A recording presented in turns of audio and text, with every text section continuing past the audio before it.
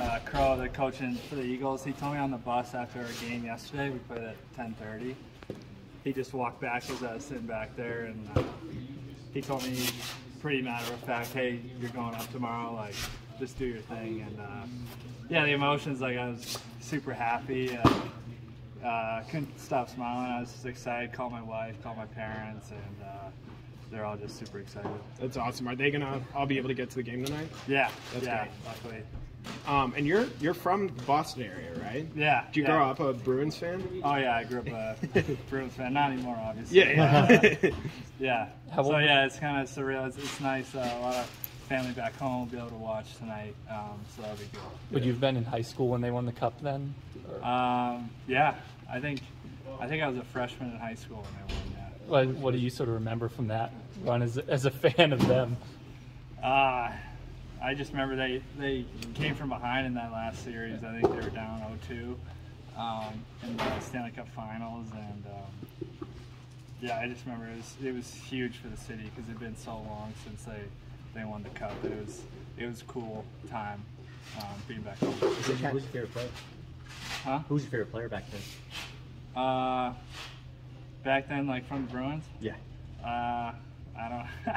I feel awkward saying this, but I, yeah, I grew up a Bergeron fan just because, like, you know, he was he was a good captain and uh, did everything the right way. And, uh, He's not a bad player to maul himself after. no, no. Is it weird to look around the locker room and see so many other guys that you played with on the Eagles kind of here at the same time? Uh, yeah. I mean, it's a little weird, but it's I think uh, more so it's just it's cool and comforting. You know, I got a lot of familiar faces and a lot of people that um, I can uh, talk to freely um, that I have relationships with already, and uh, it's just cool. It's good. Did you, uh, are you, you expecting this or was this out of the blue? I mean, I know they've been banged up, but was this kind of, Um, I mean, I wouldn't say. Uh, I, I think it was a pretty big surprise, to be honest. Um, you know, I, I don't really expect much. I just, you know, I try and um, focus on the day to day and, um, you know, what I'm doing at the current moment. So I, I try not to focus too much on um, what's going on around me and just um, playing as good hockey as I can. And, um, you know, obviously when you see injuries, you're always hopeful, but um, never expecting anything. How's your experience at Notre Dame and, and up in Loveland going to tie in to coming to Denver, do you think?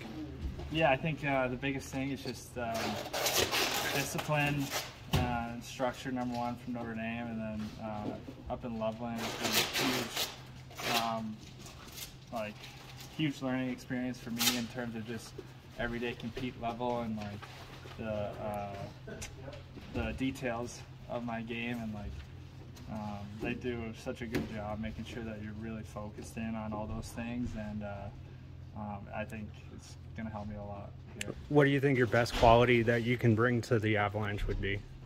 Uh, I, I think it's a combination of uh, my speed and work ethic. The two kind of go uh, hand in hand. Um, you know, I, I really I try and attack pucks quickly, and um, you know skate up and down the ice fast and play a fast game, which is what the um, Avalanche want or what the Avalanche want. So that's it.